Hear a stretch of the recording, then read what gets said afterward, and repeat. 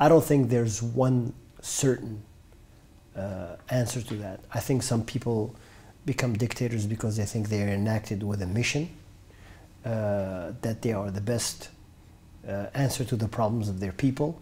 Others come in because they have a very strong sense of history and their own interpretation of history and become ideologues. Uh, and then there is a very uh, there is a there is another dimension which is rooted in psychology. Once you taste, uh, as one would say, the grace of power, uh, then you don't want to let go, and that's the very human dimension. And I think that's an extremely powerful one.